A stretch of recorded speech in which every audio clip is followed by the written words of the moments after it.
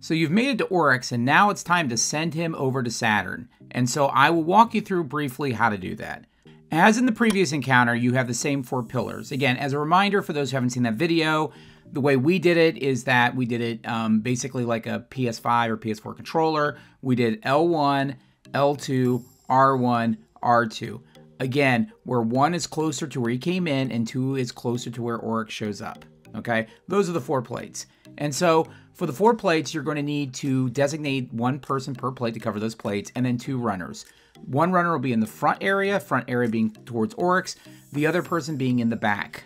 So at the beginning, there'll be a bunch of ads to kill, just you know, to keep you busy. Then Oryx will move either right or left, and he'll go to put his fist down on one particular plate.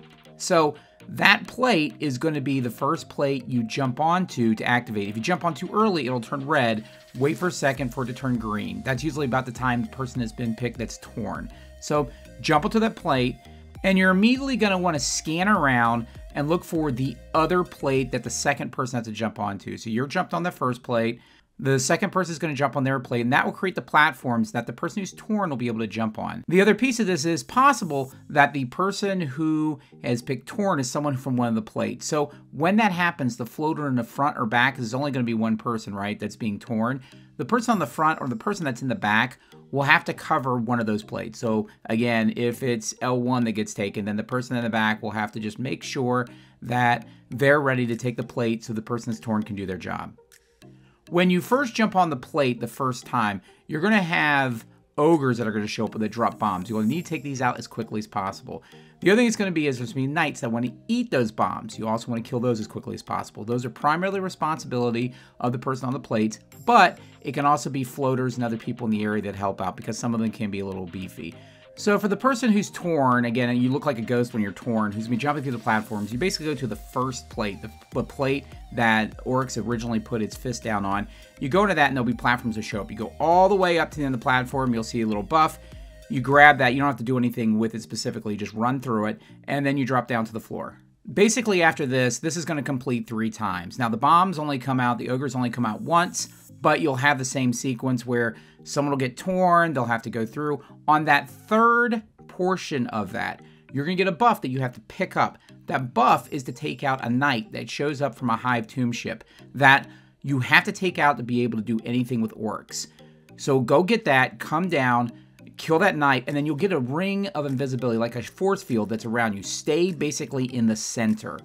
Around the time that happens and you take that off, the people who are on the plates at that time, they're going to go get close to their bombs, right? So again, once you pick up the buff and you don't have to worry about holding the plates anymore, all the people who are covering plates are then going to go get close to their bombs.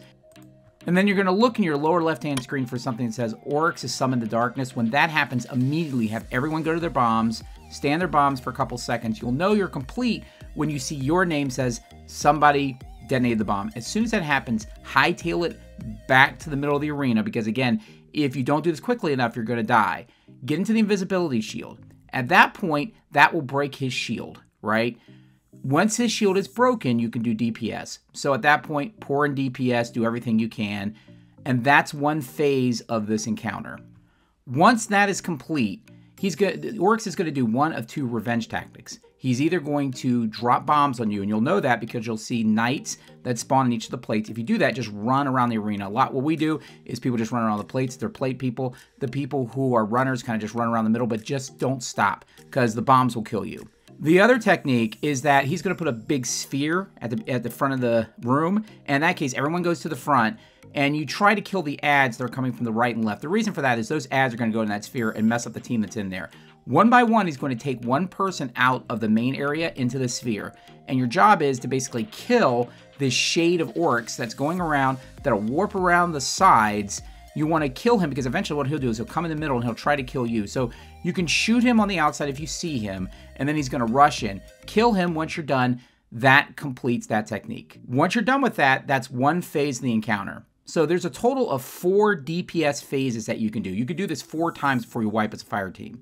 So that's one thing to keep in mind. You're going to need to do enough DPS to be able to do it within four rounds. Obviously, if you do it earlier, that's better. Once you're done with this, let's say you get enough damage and you start getting damage towards the end, you'll notice that he has a last stand bar. Especially early on, what I would recommend if you have the phases still to do it is just as you get towards that, chip him down with primary and try to get an additional phase to gather ammo. If you have ammo, if you have supers, or if you're on the fourth phase anyway, you don't have a choice. But if you could do that, what that allows you to do is do another phase of this encounter pick up additional heavy, get your supers set up and everything else, and then go for that last stand.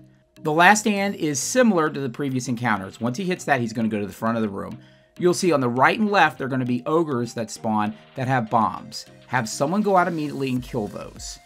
But don't go in them to detonate them yet.